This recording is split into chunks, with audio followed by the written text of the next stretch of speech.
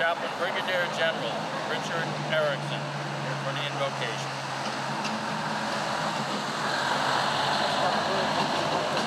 Let us pray. Loving God, we thank you and we praise you for the precious gift of life and freedom that is ours through your grace in the United States of America. We thank you for the women and men throughout history who have laid down their lives so that we may be free. Memorial Day, we especially commend to you the over 2,300 souls from Reading who have passed to the Lord, and especially the 53 Reading souls who gave their lives while on duty. Bless their families and loved ones who share so deeply in their sacrifice. We ask your blessing on all those who serve our nation today, both preserving the precious gift of freedom and in providing urgent relief from the coronavirus. May their duty honor the sacrifice of those who have laid down their lives for our country. And we ask this in your holy name. Amen.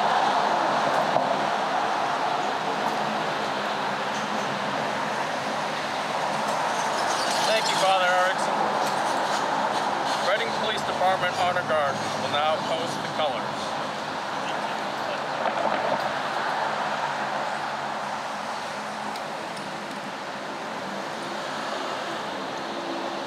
And I now welcome Grayson Dreyfus from the Reading Memorial High School Chorus to sing our national anthem.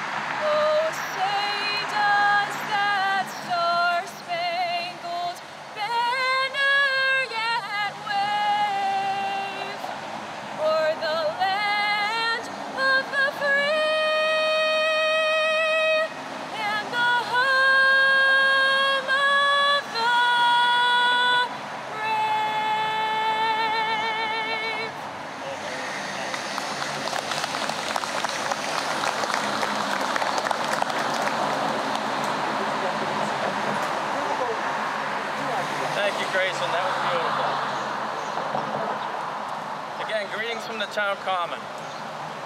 Like everything else around us today, this Memorial Day is unique. While we were not having a public ceremony, we are still honoring our veterans with the solemn dignity and respect they have earned through their service and sacrifice. Surrounding me on the town common is a flag for each of the 2,300 Reading residents that have, served their country and gone before us. Their service, and sacrifices are not forgotten. The flagpole behind me contains two plaques with the names of 53 res- Reading residents that have made the ultimate, ultimate sacrifice while serving our country. This Memorial Day, they are all remembered on common ground. Wreaths have been placed at each veterans area of Reading's four cemeteries. Flags are available in plastic bins for your use to honor your loved ones. Cemetery visitors are asked to please adhere to health and safety guidelines and maintain physical distance. These unprecedented times have required strong leadership. Reading is very fortunate fortunate to have a town manager guiding us down this road which has never been before traveled. Welcome Reading Town's Manager, Bob LeLacheur, to share a few comments.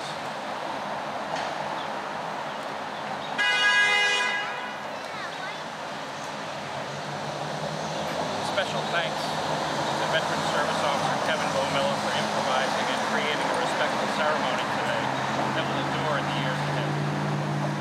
Three words come to mind for me on Memorial. The first is remember, and the second and third are never forget. Some days may seem the same, but for me I've always heard a bit of a difference. I grew up in a time when World War II memories were still fresh servicemen and women who gave their lives defending our freedoms were easy to remember. They were often ordinary people capable of heroic sacrifices and extraordinary acts. We remember them on this day and on all other days. As time passed, for many the memories faded. Generations came along without a personal connection to those memories. In an effort to share the importance with younger generations, as well perhaps to remember them ourselves, we made a subtle change and said we must never forget. We pause today on Memorial Day 2020 to reflect on those who died in active military service for our country. We're full of an admiration and thankfulness for which there are no real words. Today we do so in a socially distanced way that could have never been imagined. Indeed, the pandemic has brought much suffering and tragedy, yet it has also brought heroic action first responders, the medical community, and our friends and neighbors. The suffering and tragedy of the pandemic has given us all, young and old, a new or renewed understanding of how ordinary people are capable of doing extraordinary things. Acts of unselfish heroic heroism are again with us every day. Please join me today on Memorial Day as we think about our veterans who gave their lives in service for our country. Let us pause for a moment and let's make that personal connection again, and let's remember.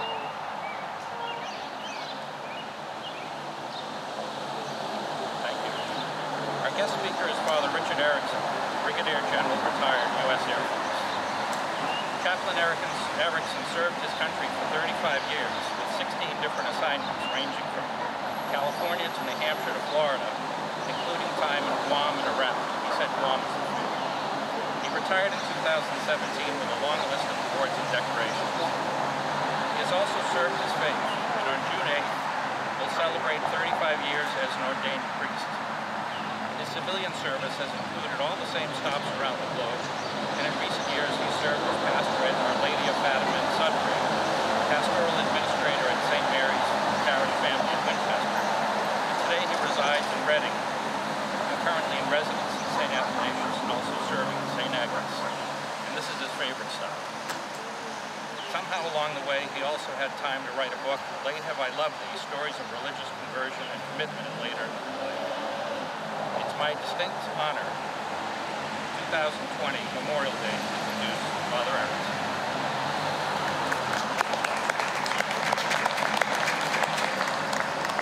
My friends, thank you so much. It is indeed a great honor to be with you today as we honor those who have gone before us in military service. It's also a great honor, as Bob just mentioned, to be a citizen of Reading. I've been in residence at St. Athanasius for over a year, and I am very blessed to be a citizen of this great town and to be blessed by my colleagues and friends and parishioners at St. Athanasius and St. Agnes. Since the 1860s, Americans have gathered to honor their fallen heroes. What we do today is solemn, reverent, and necessary. Even an epic pandemic cannot stop us from honoring for those who, in the words of President Abraham Lincoln, which are inscribed behind me on our flagpole in his Gettysburg address, told us, have given us the last measure of full devotion. I am so honored to be part of a family of three generations of military service my father is a Navy World War II hero. My nephew is active duty Navy, so it's father, son, and grandson. Today we have with us Bill, a World War II veteran who went on an honor flight a few years ago.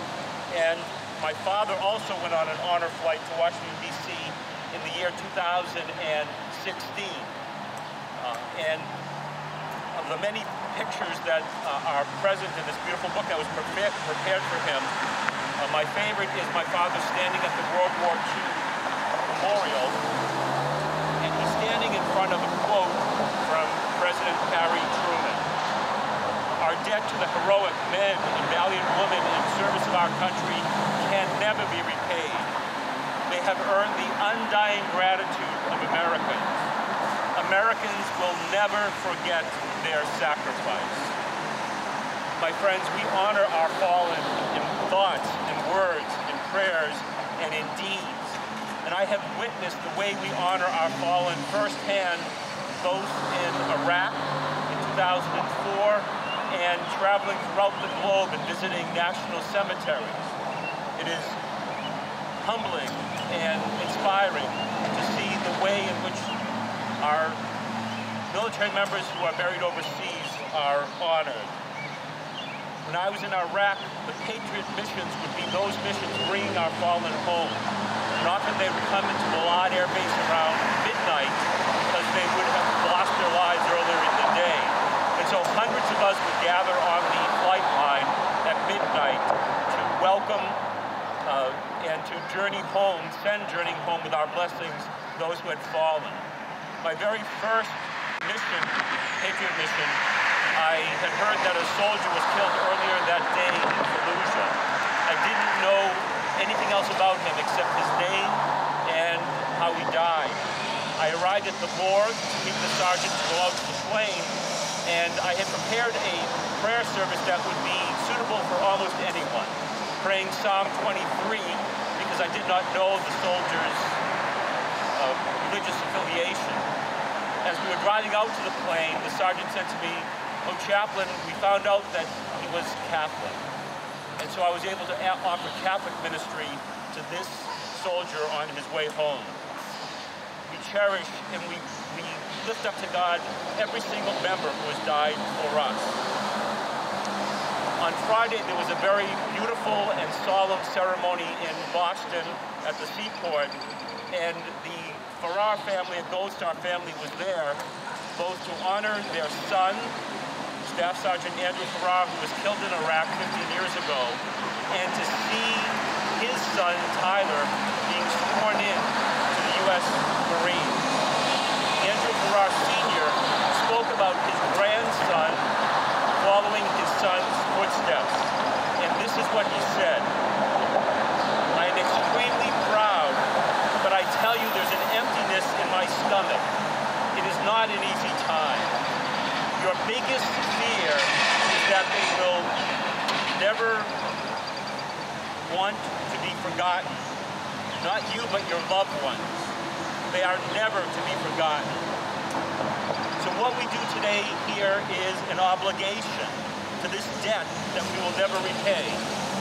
In my faith tradition, it is said, there is no greater love than this, to lay down one's life for one's friends. And every soul who we honor today has done exactly this. A few months ago, I attended the dedication of Major General George Casey Amphitheater in Allston, Massachusetts. And my friend Brian Golden, a colonel in the Air in the Army, asked this question at the dedication about General Casey. And I ask of you, all our fallen heroes, are you living a life worthy of their sacrifice? These are the words of President Ronald Reagan at the Memorial Day ceremony at Arlington Cemetery in the 1980s. And if words cannot repay the debt we owe these men, surely with our actions we must strive to keep faith with them and with the vision that led them to battle and to final sacrifice. Our first obligation to them and ourselves is plain enough. The United States and the freedom for which it stands, the freedom for which they died, must endure and prosper. Their lives remind us that freedom is not bought cheaply. It has a cost. It imposes a burden. And just as they whom we commemorate were willing to sacrifice so much, so we, in a less final and less heroic way, must be willing to give of ourselves. And so, my friends, may the souls of our fallen heroes rest in peace, and may our thoughts, words, and actions honor their last full measure of devotion. God bless you.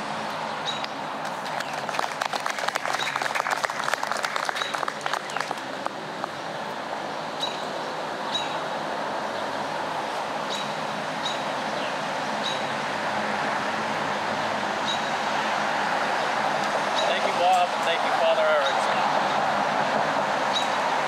During the past year, we have lost many. At this time, I ask you to please all remember, all those that have passed as a result of this COVID-19 pandemic. I will now read the names of those Reading veterans that have passed since last Memorial Day.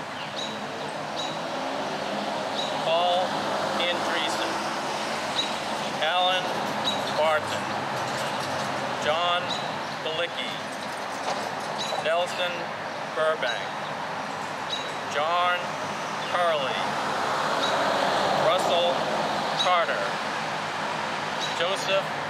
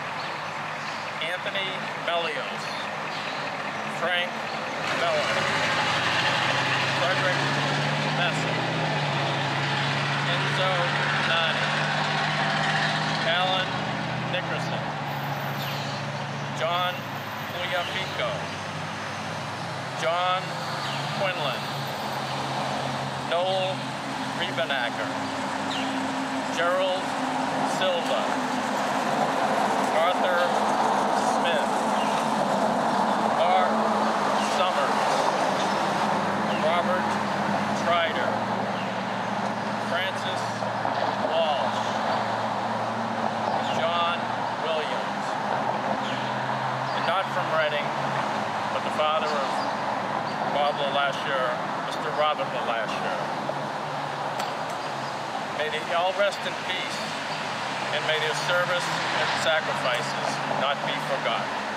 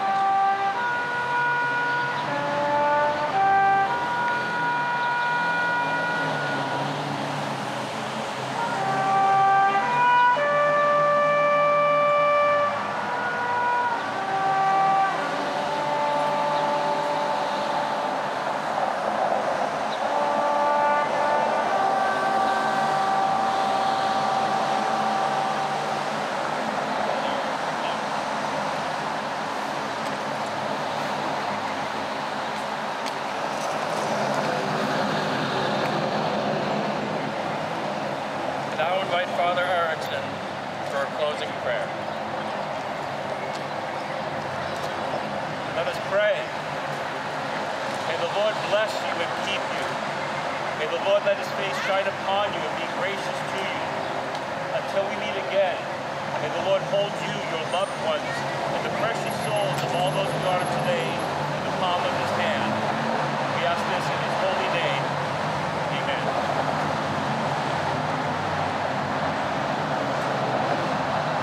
Thank you, Father Eric. During these past several months, I have witnessed countless acts of generosity and kindness in our community. I ask you please continue to take care of your families, friends, and neighbors. I look forward to Memorial Day 2021. I sincerely hope we can be together again to honor our heroes. I'd like to thank all those that participated in today's ceremony, the RCTV for broadcasting this event, Father Erickson, Bob LeLacheur, the Reading Police Department, Grayson Dreyfus, James Kika, and Owen Ambruzes, Blake Taps, and also I'd like to finally thank the Reading Select Board, uh, Town Manager and Assistant Town Manager Jean Delios, their support of all veterans issues throughout the year. God bless all those that have gone before us and all those currently serving to protect our freedoms. Be safe, everyone, and thank you.